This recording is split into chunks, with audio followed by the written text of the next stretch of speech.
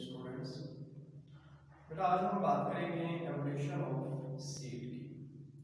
तो सबसे पहले हम देखते हैं कि सीड नॉर्मल कंडीशन में बनता कैसे है, फिर हम इसकी एवोल्यूशन को आसानी से समझ सकते हैं। बेटा आपको याद रखना है कि एक फ्लावर की अगर मैं बात करूँ तो फ्लावर में मोस्ट जो सीड्स बनते हैं फ्लावर के बाद, ये वाले जो सीड्स हैं, ये फ्लावरिंग से पहले तो पहले मैं बात करूँगा कि फ्लावरिंग के बाद जो सीड बनते हैं, वो जो मौजूदा दौर में हमारे पास मौजूद है, ये कैसे बन रहे हैं? तब हम फ्लावरिंग से पहले जो सीड बने थे, वो कैसे बने, उसको आसानी से समझ सकते हैं। बट होता यह है कि फ्लावर का फीमेल रिप्रोडक्टिव पार्ट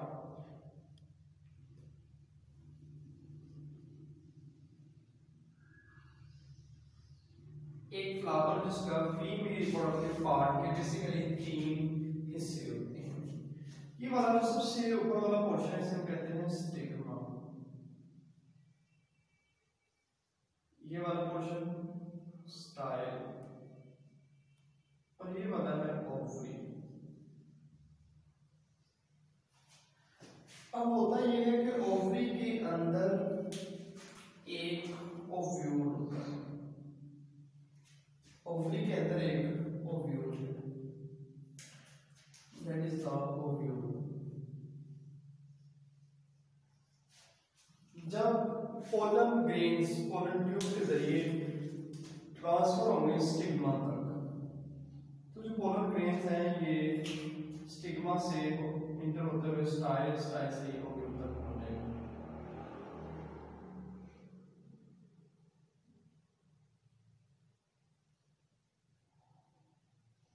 इस तरह ये ओव्यूल के साथ मिलकर एक एम्ब्रियो बनाते हैं।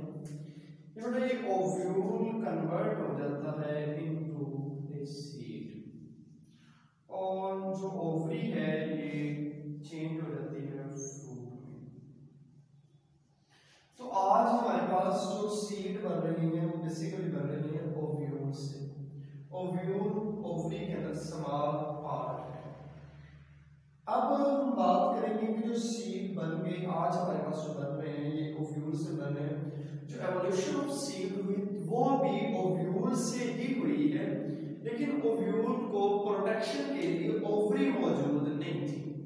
इसके अलावा स्टिग्मा और स्टाइल का जो अब हमारे पास फ्लावरिंग स्ट्रक्चर्स हैं, तब ये स्ट्रक्चर्स मौजूद हैं लेकिन ओव्यूल तब भी मौजूद तो ये अब लेक्चर की तरफ़ आते हैं तो सबसे पहले हम कहते हैं कि ऐसे प्लांट्स में सीड बनते हैं, पौधों का ऐसा ग्रुप जो सीड प्रोड्यूस करता है उसको नाम देते हैं स्पर्मेटोफाइट्स का। स्पर्मेटोफाइट्स पौधों का एक ऐसा ग्रुप जिसमें सीड बनते हैं सीड बनने वाले पौधों के उस ग्रुप को नाम देते हैं स्पर्मेटोफाइट्स का। Seed producing plants are called spermatophores ये कंसीडर अपने से तरह याद कर लेना कहते हैं कि जो seed प्रोड्यूसिंग एक प्लांट है और दूसरे प्लांट है वास्कुलर ही। है बेटा, दोनों ही वास्कुलर प्लांट है। एक सीड प्रोड्यूस कर रहा है, दूसरा सीड प्रोड्यूस नहीं कर रहा। क्योंकि जो प्रिमिटिव प्लांट थे, वो सीड प्रोड्यूस नहीं कर रहे थे। जो प्रिमिटिव प्लांट सीड प्रोड्यूस नहीं कर रहे थे, तब वो डोमिनेट थे। जब सीड प्रोड्यूसिंग प्लांट आ गए स्पर्मेटोफाइट्स आ गए, तब ये वाले जो स्पर्मेटोफाइट्स हैं ये डोमिनेट हो गए। यहाँ पे हम बुक में मेंशन है, पहली लाइन है review of kingdom plantae kingdom plantae के अगर हम ओवरऑल रिव्यू लें। इंडिकेट इससे हमें इशारा होता है, इससे हमें एक बात मिलती है दैट सीड प्लांट्स जिसको हमने नाम दिया स्पर्मेटोफाइट्स का प्रीडोमिनेट ये डोमिनेट होते हैं ओवर नॉन सीड प्लांट ये नॉन सीड प्लांट पर डोमिनेट हो जाते हैं। यानी कि पहले नॉन सीड प्लांट डोमिनेट थे, फिर जैसे ही सीड प्लांट है जिसको हम स्पर्मेटोफाइट्स का नाम दिया ये डोमिनेट हो गए। Development of seed was significant event ये जो सीड की डेवलपमेंट है, ये बहुत बड़ी इवेंट है, बहुत बड़ी अचीवमेंट है लैंड प्लांट की। लैंड के ऊपर रहने वाले जो पौधे हैं उनकी जो सबसे बड़ी अचीवमेंट है, वो सीड को उन्होंने बना दिया। कि सीड डोरमेंट हो जाता है इनएक्टिव हो जाता है। जब ना मुनासिब होते हैं तो सीड डोरमेंट हो जाता है। तो चूँकि लैंड में जो कंडीशंस है एनवायरमेंटल कंडीशन चेंज होती रहती हैं एक्सट्रीम कंडीशन आ जाती है सीड फॉरन जर्मिनेट नहीं कर पाता तो फिर सीड उस हालत में जर्मिनेट नहीं कर पाता तो कहते हैं सीड की वो हालत जिसमें सीड जर्मिनेट ना कर पाए, वो डोरमेंट है। तो इस तरह existence on land on dry place increase हो जाती है। तो जो सीड की सीड जो रिप्रोडक्टिव सिस्टम में वास्को प्लांट के रिप्रोडक्टिव सिस्टम एक अहम मॉडिफिकेशन है, एक अहम अचीवमेंट है। ये 390 मिलियन ईयर अगो शुरू हुई और first complete seed plant appeared in 365 million year ago late the Devonian time late का लफ्ज मतलब है कि जो डिवोनियन टाइम है डिवोनियन पीरियड इसके एंड वाले टाइम में एंड वाली जो ड्यूरेशन है वहाँ पे ये जो सीड है 365 मिलियन ईयर अगो अपीयर हो गई। ये एमसीक्यू है? जो सीड प्लांट है स्पर्मेटोफाइट्स कब अपीयर हुए आपने बताया 365 मिलियन ईयर अगो अगर मैं सीड को डिफाइन करूँगा तो a fertilised ovule is called seed तो यहाँ पे हमने बात की कि इस ओव्यूल के जस्ट जो पोलर ग्रेन आगे मेल के इसमें कहते हैं फर्टिलाइजेशन तो ये ओव्यूल जब फर्टिलाइज्ड हो गया तो ये किसमें बदल गया? सीड में। तो सीड की आपने डेफिनेशन जब भी करी अपनी, ये करी fertilised ovule is called seed अब इस सीड को एक प्रोटेक्शन मिलती है इंटेगुमेंट से। इंटेगुमेंट क्या है? प्रोटेक्टिव स्ट्रक्चर है। जिस बेटा, यहाँ पे अगर मैं ओवरी की बात करूँ तो ओवरी इस ओव्यूल को प्रोटेक्शन प्रोवाइड कर रही है इसी तरह इंटेगुमेंट यहाँ पे उस केस में बताऊँगा कि जो ओवरी है act as an integument integument का प्रोटेक्टिव स्ट्रक्चर तो इंटेगुमेंट इंडिसेंस इंडिसेंस का मतलब है एनवायरमेंटल कंडीशन में से जो हार्मफुल चेंजिंग है, उससे बचाती है. किसको? ओव्यूल को. मेगास्पोरेंजियम तो मेगास्पोरेंजियम क्या है? ये एक बहुत इंपॉर्टेंट पॉइंट है. मेगास्पोरेंजियम क्या है? स्पोर जिस स्ट्रक्चर के अंदर बनते हैं, उसको हम नाम देते हैं स्पोरेंजियम और अगर लार्ज साइज़ स्पोर किसी स्ट्रक्चर के अंदर बने तो बेटा उसको हम नाम देंगे मेगास्पोरेंजियम का तो steps involve in evolution of seed बेटा जो स्टेप्स सीड के एवोल्यूशन में टेक प्लेस होते हैं, वो 6 हैं। Evolution of heterospory number 1 number 2 आएगा retention of megaspore within the megasporangium third आएगा development of protective layer around the megasporangium fourth आएगा retention of single megaspore per megasporangium fifth आएगा development of embryo sac within the megasporangium और sixth और last one है modification of distal end of megasporangium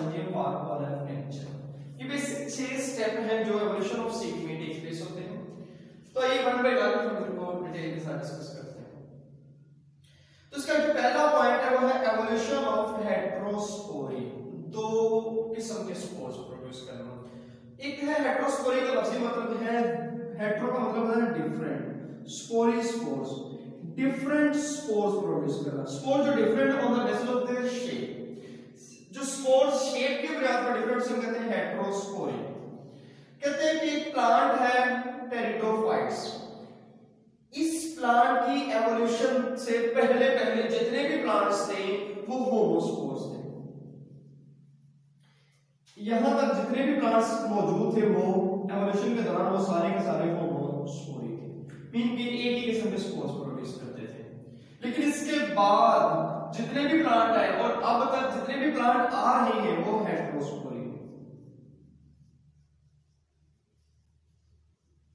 हेटेरोस्पोर्स दो किस्म के spores produce करते हैं। अब हम उन स्पोर्स को नाम देते हैं, अगर स्पोर्स का साइज़ सवाल हो तो बेटा हम नाम देंगे माइक्रोस्पोर्स का।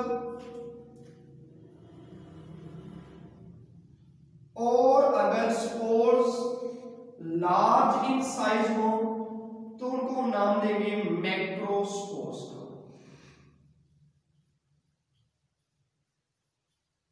small size spores microspores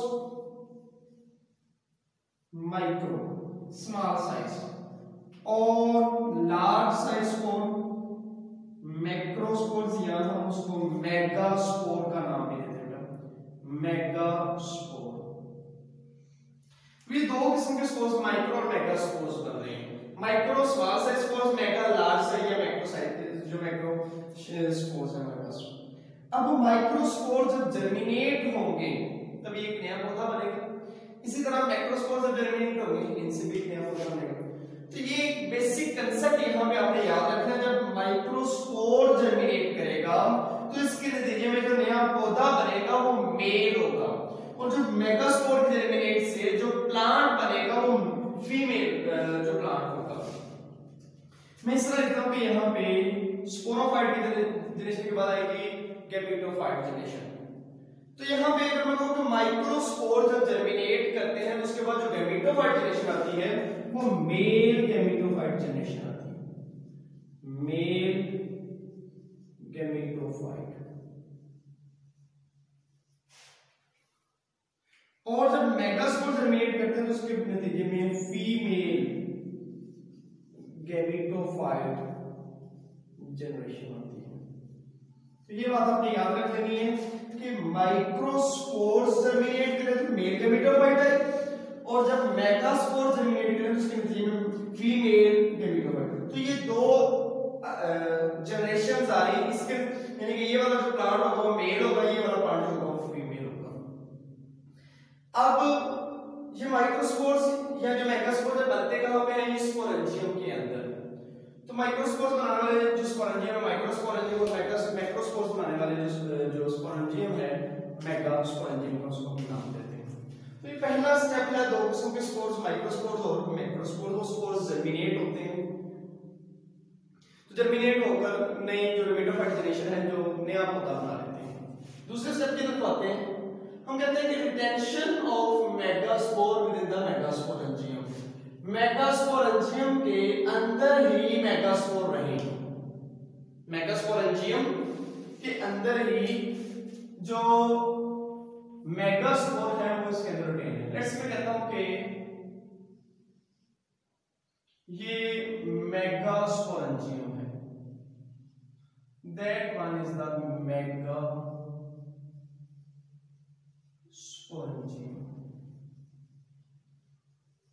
बेटा यहाँ पे हम बात करेंगे प्लांट की। स्लेजिनेला इसमें जो मेगास्पोर्स थे, वो प्रोड्यूस हुए और मेगास्पोरेंजियम के अंदर ही रहे, ये डिस्पर्स्ड होकर जर्मिनेट नहीं कर पाए। तो ये एमसीक्यू आपने इस तरह याद कर लेना है कि नॉर्मल कंडीशन में क्या होता था कि जो मेगास्पोर्स थे, ये मेगास्पोरेंजियम से बाहर निकलते थे और जर्मिनेट हो जाते थे जब कंडीशन फेवरेबल होती थी। तो बेटा जब के इन केस ऑफ़ ये हमारे पास स्पेशल केस आ गया ये कौन सा होता था? स्लेजिनेला इस पौधे में क्या हुआ कि मेगास्पोर मेगास्पोरेंजियम के अंदर ही रहा बाहर निकल निकल ना पाया डिस्पर्स ना हो पाया। तो नेक्स्ट स्टेप ये था कि मेगास्पोर मेगास्पोरेंजियम के अंदर ही रह, रह पा रहा है बाहर नहीं आ पा रहा। मेगास्पोर मेगास्पोरेंजियम के अंदर ही रह पा रहा है तीसरे स्टेप की बात करते हैं। Development of protective layer around megasporangium ये हमारे पास मेगास्पोरेंजियम था। इसके गिर्द प्रोटेक्टिव लेयर्स बननी शुरू हो गई।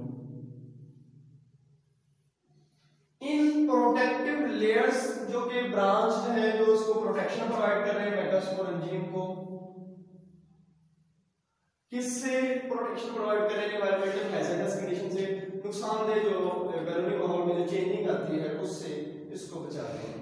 तो हम कहते हैं, इस स्ट्रक्चर को कहते हैं इंटेगमेंट इंटेगमेंट क्या है? Protective structure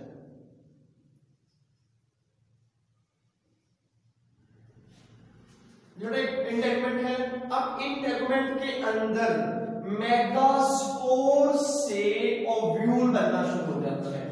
Formation of ovule take place होगा कहाँ पे मेगास्पोरेंजियम के अंदर। और एक बात याद रखना, जो मेगास्पोर्स बन रहे हैं, ये बन रहे हैं बाय मियोसिस और मियोसिस के दौरान चार सेल्स बनते हैं, इनके चार मेगास्पोर्स बन रहे हैं। उनमें से एक कन्वर्ट हो जाता है into ovule more protection is accorded to egg containing apparatus in terrestrial environment. मीन के ये वाले हम मेगास्पोर इसको हम नाम दे रहे हैं एग कंटेनिंग अपरेटस ये वाला एक अपरेटस है जो इंटेगुमेंट में प्रोटेक्टेड है। ये इसको मजीद प्रोटेक्शन मिल रही है किससे? इन्वायरमेंटल कंडीशन से बचने के लिए। एक तो हम इंटेगुमेंट दे रहे हैं, दूसरा इसके लिए एक स्पेशल स्ट्रक्चर बन जाता है जो इसको प्रोटेक्शन प्रोवाइड कर रहा है। इधर बेटा हमारे पास तीसरा स्टेप कि प्रोटेक्टिव लेयर्स मेगास्पोरेंजियम को कवर करते हैं फोर्थ स्टेप में क्या होगा कि चार मेगास्पोर्स में से एक मेगास्पोर ज़िंदा रहेगा, बाकी तीनों, चार, बाकी जो तीन होंगे वो डीजनरेट हो जाएँगे। Retention of single megaspore per megasporangium एक मेगास्पोर के अंदर बेटा चार, एक मेगास्पोरेंजियम के अंदर चार मेगास्पोर्स बन रहे थे। अब वो चारों मेगास्पोर्स में से एक मेगास्पोर बच जाएगा, बाकी तीन जी डीजनरेट हो जाएँगे। तो यहाँ पे आपने बताना है कि चार में से सा जो मेगास्पोर है, ये बच जाता है, ये रिटेन हो जाता है। वो हमने बताना जो सबसे अच्छे जीन वाला, जो सबसे अच्छे करेक्टर वाला मेगास्पोर होगा, वो बच जाएगा। बाकी तीनों डीजनरेट हो जाएँगे। अब डीजनरेट होने में क्या एक्सटर्नल कंडीशन इफ़ेक्ट करती है या इंटरनल तो जवाब आएगा इंटरनली ही मेन हम बात करेंगे तकरीबन 70 परसेंट इंटरनल कंडीशन ऐसी थी। हार्मोनल चेंजिंग आ गई कि जिन्होंने इस एक मेगास्पोर को इसके अंदर रिटेंशन में हेल्प की। बाकी हम कहते हैं, कुछ एक्सटर्नल चेंजिंग में थी, जिसकी वजह से एक मेगास्पोर मीन के एक्सट्रीम कंडीशन आ गई। एक्सट्रीम कंडीशन में जो स्पोर एग्जिस्ट कर गया, वही जर्मिनेट कर पाएगा। तो एक्सट्रीम कंडीशन में एक स्पोर जर्मिनेट कर पाता है, वो स्पोर जो अच्छे ट्रेड रखता हो, अच्छे खसूसियात रखता हो बच जाता है, बाकी तीनों डीजनरेट हो हैं retention of single megaspore per megasporangium अब इनके दरमियान में कंपटीशन शुरू हो जाता है। जब कंपटीशन होता है तो कंपटीशन में एक स्पोर एग्जिस्ट करता है, बाकी तीनों ही डीजनरेट कर जाते हैं। अब क्या होगा कि हमारे पास मेगास्पोरेंजियम इसको एक प्रोटेक्टिव लेयर इंटेगुमेंट ने कवर किया हुआ है इसके अंदर एक मेगास्पोर है। जुड़े ये आपके पास है जी integument.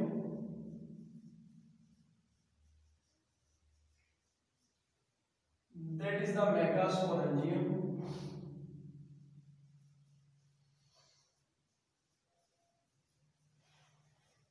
और इसके अंदर एक मेगास्पोर ये वाला जो मेगा हेल्थी है मेगास्पोर है एग कंटेनिंग है, ये कन्वर्ट हो जाएगा। गेमिटोफाइट जनरेशन में हम ये कन्वर्ट हो जाएगा। ये वाला जो मेगास्पोर है, ये चेंज हो जाएगा into embryo sac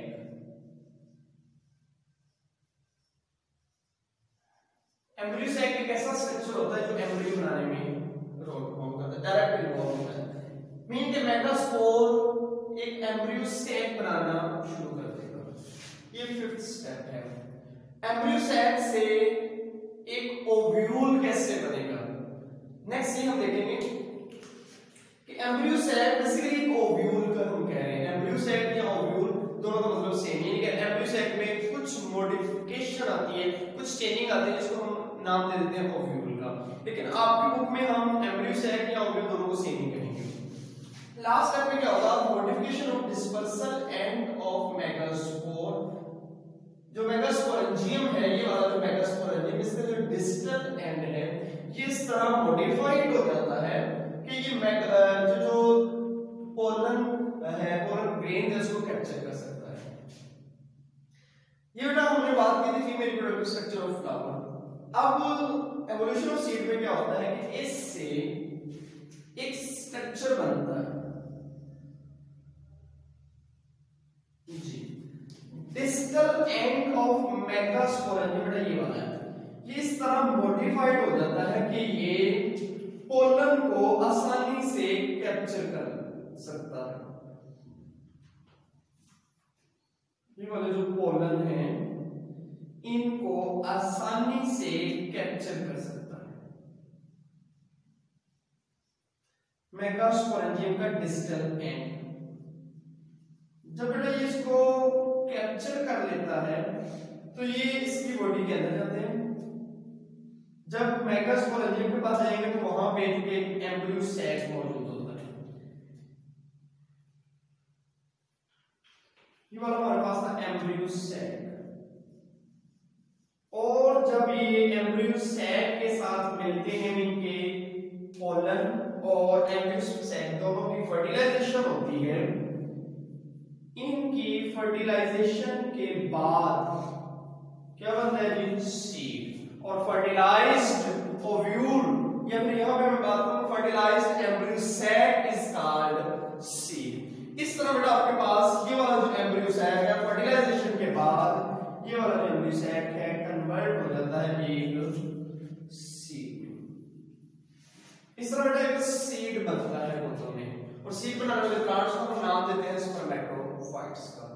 तो ये था आज का हमारा लेक्चर जिसमें हमने फॉर्मेशन ऑफ़ सीड इसके छह स्टेप हैं, ये हमने किया है और ये लॉन्ग क्वेश्चन है, बहुत दफ़ा पास पेपर में रिपीट भी हो चुका है। Thank you students